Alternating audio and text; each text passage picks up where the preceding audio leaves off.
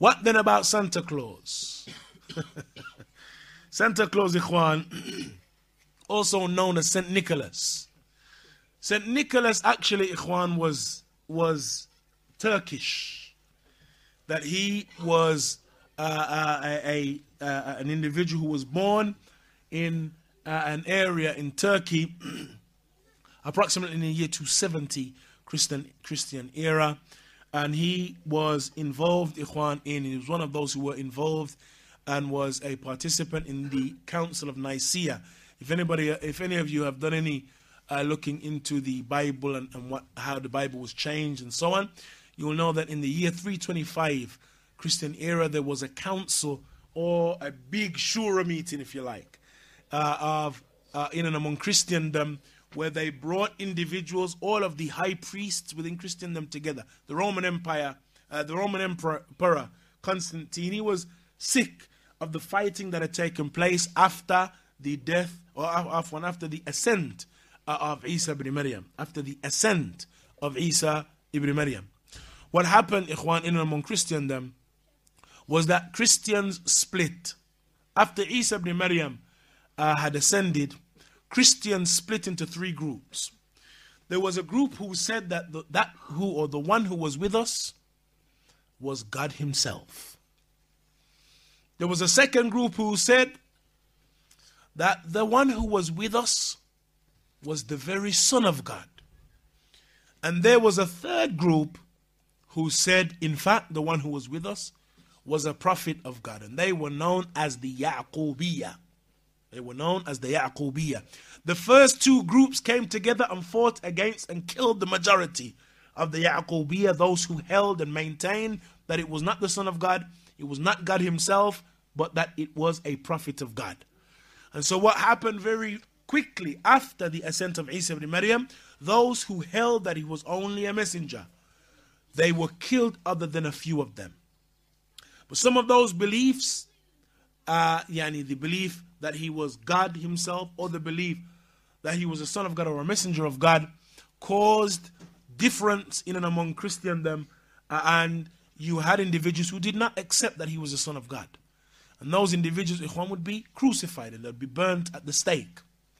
Uh, and because of the fighting and the killing that took place in and among Christendom, uh, the Roman Empire, emperor at that time decided that he is going to bring Christians together, high priests and people of importance among Christendom together. He was going to unite them under one roof. And then they were going to codify the Bible. That is, we're going to remove from the Bible that which is creating the problems. That which causes you to have the opinions that you have, and that which causes you to have your position, we're going to remove it from the Bible and we're going to unite upon one book that is not the cause of differing and fighting among you. And so they removed the number of the books of the Bible, the Maccabees, they removed many of the books, the Apocryphas, many of the books were removed from the Bible, those books that they considered incongruent with the message of the Bible.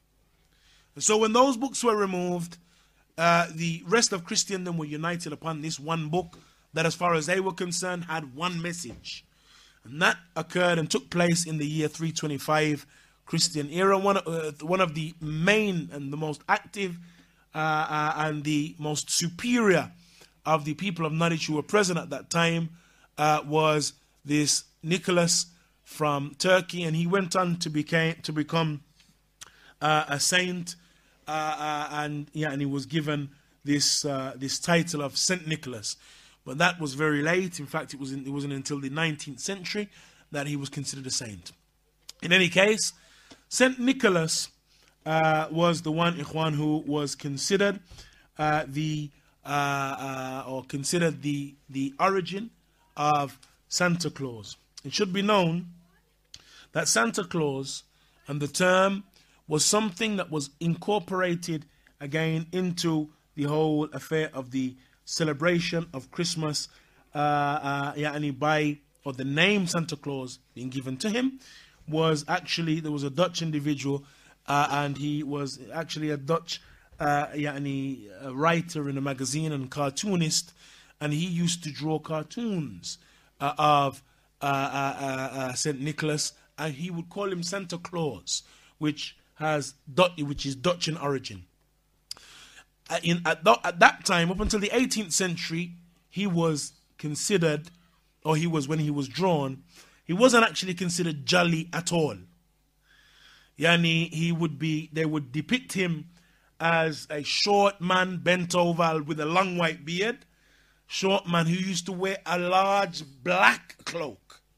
There was no red cloak, Ikhwan, as we see, and this nice rosy cheeked man. Rather, it was an old man who was bent over and he was known to be quite harsh. In fact, he was known to discipline children. And not only known to discipline children, but he was known to beat the living daylights out of children. He was known for that. And that is why when you hear in, in, in the uh, you know in, in, in the famous song, you better not pout, you better not cry. Uh, I'm telling you why. Why? Because Santa Claus is coming to town. Because if you were unruly, it was believed that Santa Claus will beat the living daylights out of you. And that was the, the, picture, the picture and the image that was given to Santa Claus at that time. So, how then did Santa Claus become this happy picture and figure that we now see them uh, depicting him uh, as? Believe it or not, Ikhwan, it was Coca Cola. It was Coca Cola in the early 19th century, uh, in the, yeah, in the early 1900s. After they had, because it was by law, they had to remove Coca Cola, originally had cocaine within it. It actually had a small trace of cocaine within it, and that's what gave it the kick. they replaced it with caffeine, it wasn't quite the same, and so their sales began to drop. And so they needed a marketing campaign that would bring them back into popularity and cause their sales to soar again. And so their marketing campaign revolved around Santa Claus and St. Nicholas. And so what they did was they did a, a, series of cartoons depicting Santa Claus and St. Nicholas as a, as a cheerful fellow, as a happy fellow, drinking, you guessed it, Coca Cola. And that it was Coca Cola instead of this old, decrepit, yani, horrible man that used to beat children. He is now a nice guy because he's drinking Coca Cola. And so instead of the black cloak that he was ordinarily depicted in, they changed his black coke for, cloak for a Coca Cola style red coat. And that was where the red garment came in and the happy, cheerful uh, Santa Claus uh, that uh, uh we see. Similarly, as far as him yeah, being upon or having flying horses or what, what have you, uh, or reindeers and, and what, have, what have you, that similarly came from that god uh, that, or that pagan god that uh, was known for giving out gifts, that uh, she was depicted as being an individual who used to fly in the sky on horses.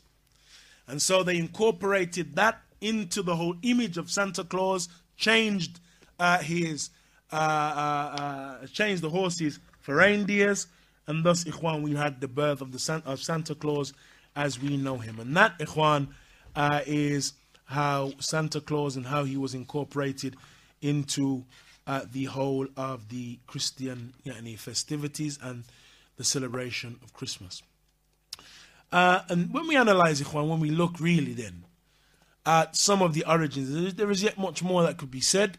When we look at some of the origins, Ikhwan, of how Christianity, how Christmas and the celebration of Christmas came about, then we see, Ikhwan, that its origin revolved around, Ikhwan, not having a, a robust principle that relates to bid'ah.